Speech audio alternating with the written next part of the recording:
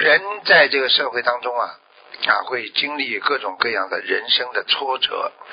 很多人在挫折挫折面前呢，就啊，就是这个心态发生了变化。而，有些人呢啊啊，在跟自己的挫折抗争。但是呢，心里没有一种啊理想啊，没有一种啊这个我们说的一个这个学佛的那种信念，没有信仰，所以很快的就被自己的那些肮脏的理念呢所打倒。所以学佛人的话呢，就是讲的觉悟啊啊。我们经常说，一个人能够自觉觉悟啊，你才会才会断惑正。正真啊，断掉迷惑啊，证实真实的世界的存在。事实上，实际上我们学佛人啊，这个菩萨呢，拜菩萨并不是啊一种好像你是学佛啦身份的象征，而是代表着你已经摆脱了人间的烦恼，你开始了啊用悲智两种品质的。啊，这个运作的开始，一直啊用智慧来解除烦恼的能力啊，然后你用慈悲悲悯的心，你才了悟生命的真相的这种能力。所以这样的话，你就是发愿会帮助一切众生啊解除烦恼。实际上，这就是悲悯心的开始形成。所以，其实佛教啊，在这个这个整个世界当中啊，起了一个相当重要的角色。它是一种伦理啊道德的一种再现。它这种宗教，它是显示人的伦理道德啊。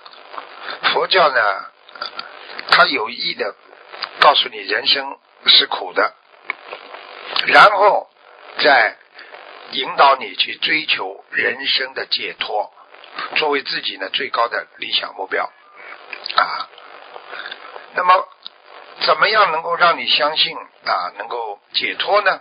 所以呢，佛教呢就啊有一整套一系列的这种去恶从善的这个理论学说和这个这个伦理道德的这个标准呢。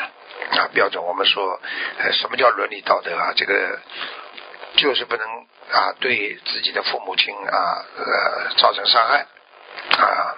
这个在自古以来，我们五千年啊，这个这个中华这个文明古国的这个中华传统文化的历史啊，就是让我们啊懂得了什么叫伦理，什么叫道德。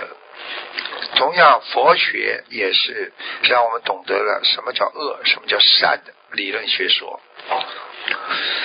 所以，这个佛教的这个思想啊，啊，传入中国之后啊，它的道德伦理思想啊，尤其呢，这个佛教讲众生平等啊，这个这个，慢慢的被我们中国的传统文化啊，这个底蕴啊啊所接受。对不对？众生都是平等啊！虽然中国古代封建社会呢，它也是讲一些不平等，实际上啊，讲到的是平等，是一种平等的心啊，平等的意念啊，平等的人生，平等的待遇啊，大家一起的待遇啊，所以呢。很多人呢，对佛法就开始形成了一个新的概念啊，新的概念，怎么样能够啊，让自己变得更加的智慧，更加的慈悲啊，也就是变得更加的啊，在家庭也好，在社会上也好啊，有一个更慈悲的心啊，来贴近你的生活啊，贴近你的生活，所以。人生心态很重要啊！我们说啊，现在人生啊，生命存在的很多的缺陷，而且而且人呢都知道自己啊，我就是不好啊，我就是自私啊，我就是搞不清楚。就是这种迷惑了，而且会慢慢的转变成一种烦恼和痛苦啊。所以佛陀对生命现实，在末法时期，其实他的评估和结论就是人生是苦的了。你想想看，你就是快乐，到最后也是痛苦；你拥有了，到最后也会痛苦啊。所以佛告诉我们啊，这个四圣地八正道，就是告诉我们啊，这个爱别离啊，这个怨憎会啊啊。然后呢，这个生老病死啊，等等啊，让我们看清，让我们正视啊，要找到自己生存在人间的真正的价值啊。所以，因为很多无名的东西在我们啊身边呢啊遮蔽了我们的眼睛，以致呢让我们看不清。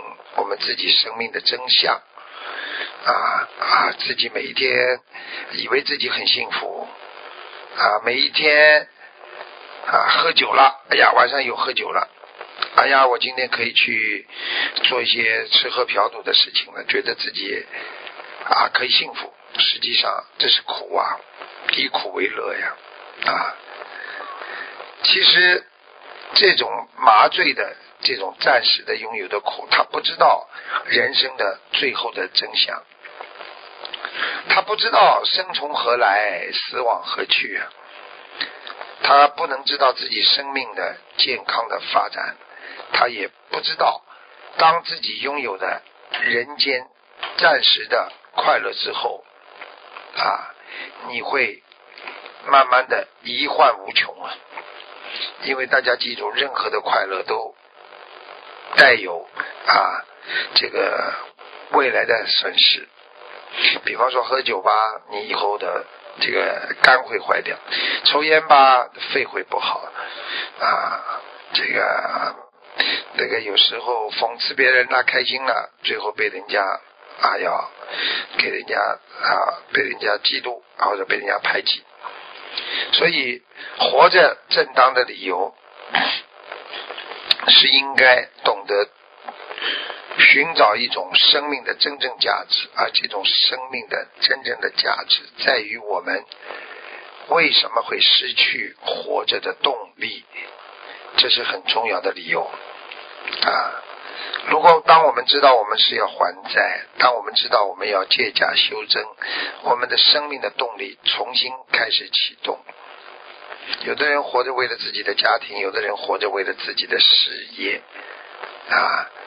但无论哪种理由啊，都是生命表层的理由，经不起啊我们说学佛人的那种推敲。因为你只是为了生命而活着，为了一顿饭，为了一个孩子，为了一个家庭啊而支撑着啊，这么啊表面好像活着，实际上生命。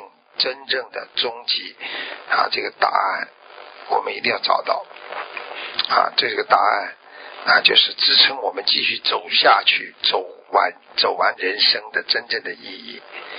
所以很多人呢，真的不知道啊！一看到家庭破裂了，自杀了；孩子离你而去了，自杀了；或者工作没了，他就开始啊，就是沉沦了。因为他没有一个真正的能够让自己解脱的方法，所以学佛人呢，要懂得啊，真正解脱自己，要有要有佛性，要懂得这个世界的真正的苦空无常，你才会去寻找一种啊，让你活在人间。